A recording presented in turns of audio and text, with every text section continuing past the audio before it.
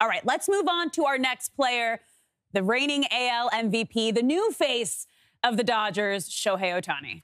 Yes, Shohei's New Year's resolution is please, in my first year with the Dodgers, I want to have a good year. I want to hit 50 home runs Ooh. with a 1,000 OPS. Dang, okay. That's his New Year's resolution. Now, that's what I'm saying his resolution is. Knowing Shohei, I would imagine his New Year's resolution is simply just get to the playoffs. Please, I want to play playoff baseball. Yeah. That's going to happen. Okay. The Dodgers are going Yeah. to make the playoffs. I would bet my right pinky finger on it. They'll get there.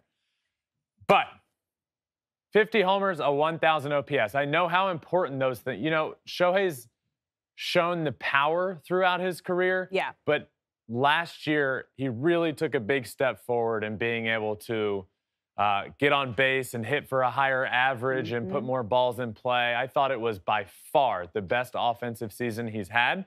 Uh, I know that was something he's super proud of to win the Hank Aaron Award, to have a higher batting average. The year prior, at the All Star game, when he was there as a pitcher and a hitter again, I asked him how Shohei the pitcher would do against Shohei the batter, and he laughed and said I could throw myself with a fastball down the middle and I'd strike out. Last year was a bit of a different situation. He figured things out. I'm excited to watch him in his first year with the Dodgers.